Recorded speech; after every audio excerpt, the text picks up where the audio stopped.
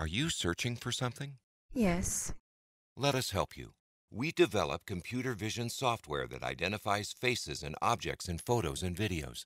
I found him. I found him. Go to imagegraphicsvideo.com now.